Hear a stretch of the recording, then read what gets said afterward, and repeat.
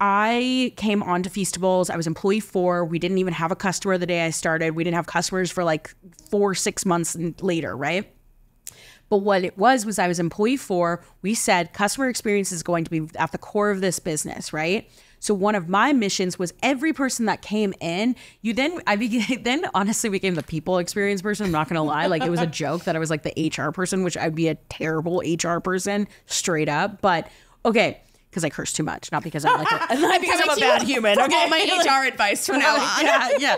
Um, okay, but the re- okay, so the reason I'm like bringing all these things up though is because culture, it, the culture for your CX starts with from within, right?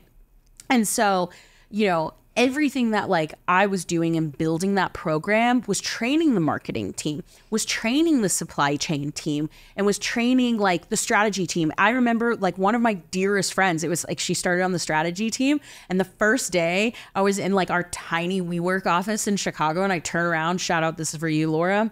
And I was like, Laura, how are you going to help me with the CX? and she helped me develop out that dashboard that I was like talking about. But like, it's so important that it's like a good brand experience and customer experience starts within. And I think it like starts at every level of the company.